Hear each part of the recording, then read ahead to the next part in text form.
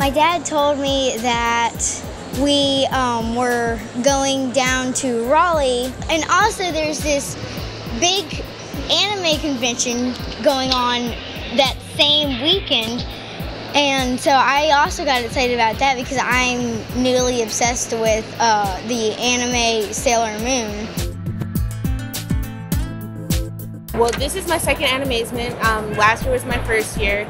Um, it's really just being able to have fun, get together with a group of friends, and just enjoy life and what you see as like your closet hobby, and just be able to do it out in the public and enjoy it. Kids like us get messed with out in public, out in schools, just because of what you do wear. Even here, like she said, no matter what you're wearing, people are here to support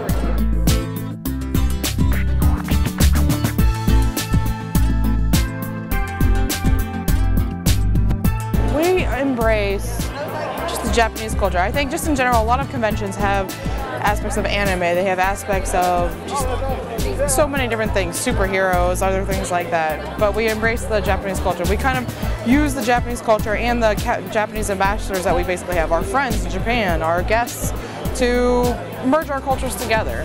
The mission of it is to foster, to use anime, to use popular culture, to foster this greater understanding between the U.S. and Japan, specifically here in Raleigh. We have tea ceremonies, we have etiquette classes on just Japanese culture in general. We bring animators, animators the animator support group, Japanese animator supporters, who anime is a big part of their culture just in general. It brings in cultural guests. We have taiko drummers, we have shamisen players, we have idiots like me that talk about the value of international education, uh, both Japanese coming here and uh, uh, American people going to Japan.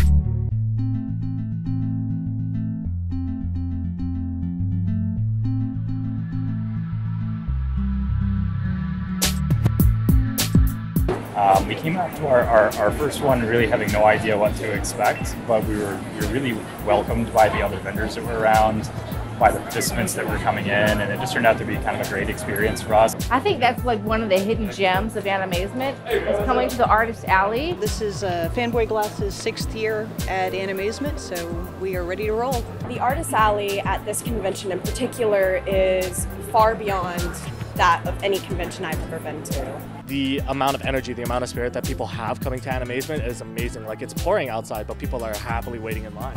The local artists, like, and it's nice because you can sit and chat with them too, and like they will talk with you about stuff, and it's great. It, it, it just shows like the community. And as a local artist, seeing these sellers, it really it makes you feel good about where the money's going because it's supporting someone who's just like you, and it really means a lot.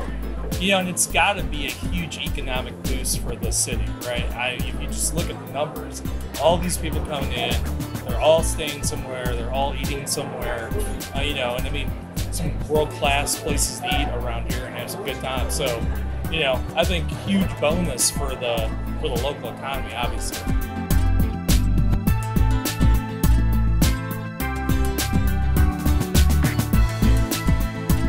Doesn't stop at Raleigh. It brings in money from as far away from as Oklahoma, as Texas, as Ohio. People drive all day to be here and you know fill up every hotel in the nearby area. The Marriott Hills, the Sheraton Hills. Well, uh, my impression so far here at Animazement has been phenomenal. It's just a it's a wonderful community, and we've been to a you know a fair number of cons, and this one is absolute our favorite.